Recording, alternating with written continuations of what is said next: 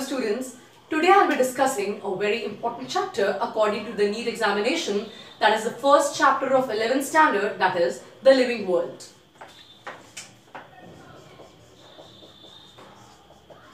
Now the living world chapter it has got four topics that is the features of the living organisms, taxonomy and systematics, taxonomic hierarchy and taxonomical aids. In this lecture, I'll be dealing with the first topic that is the features of living organisms. Now, if you talk about the features, we have growth, reproduction,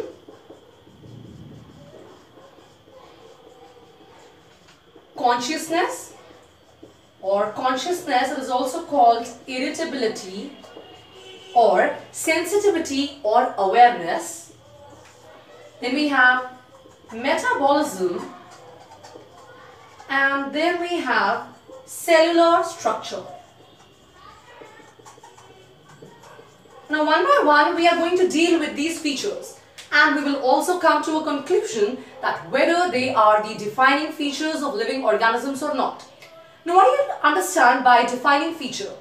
A defining feature it should have two criteria. Yes, it should fulfill two criteria. First, that it should be unexceptionally shown by all living organisms and the second one that particular feature should be absent in non-living. The first one is growth.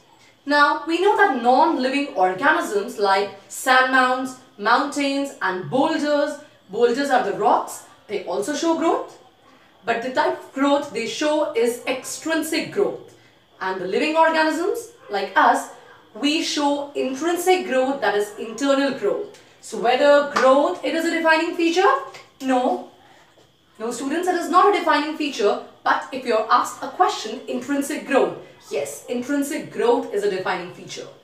The next one is reproduction. Now is reproduction a defining feature? No. Reproduction is not an all-inclusive defining feature of living organisms. That means now the NCERT states this line and that means that reproduction is not shown universally by all the living organisms as there are certain exceptions like mules, hybrid between the male donkey and female horse, hinny, sterile worker bees and infertile human couples. These are the exceptions which do not reproduce. That means reproduction is also not a defining feature.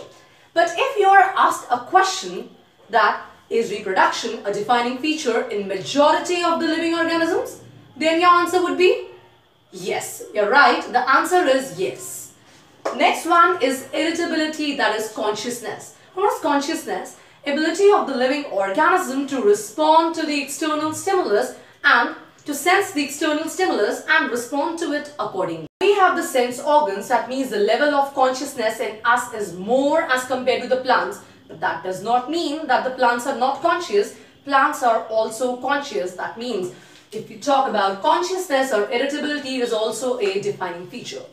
Now human beings, they have an additional property of self-consciousness. That means human beings, we are aware of ourselves. Yes, we are aware of ourselves. That means we are self-conscious besides being conscious. That means self-consciousness is not a defining feature, but consciousness is a defining feature.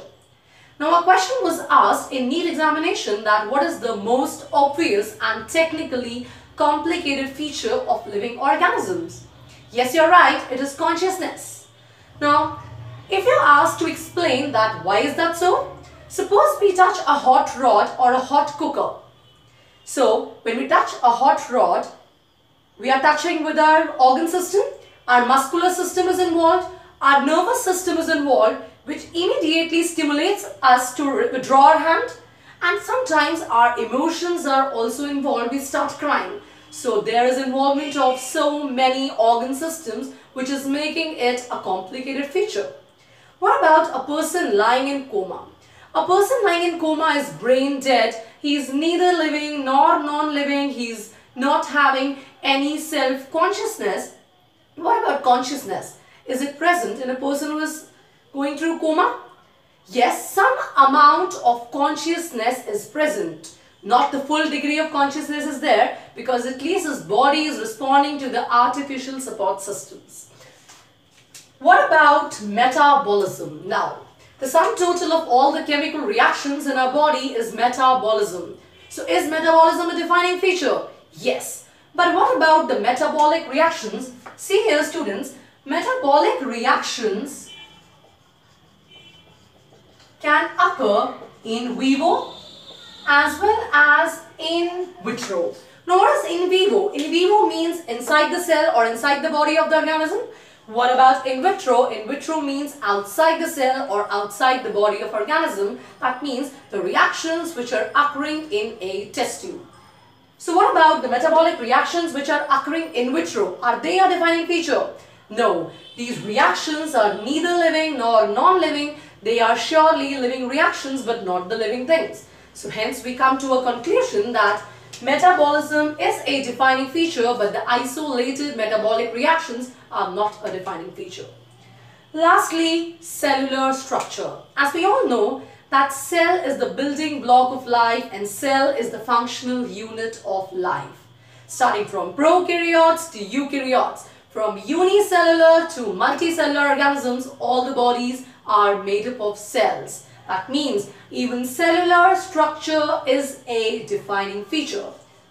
Hence to sum up, growth, it's a non-defining feature, but intrinsic growth is a defining feature. Reproduction is a non-defining feature.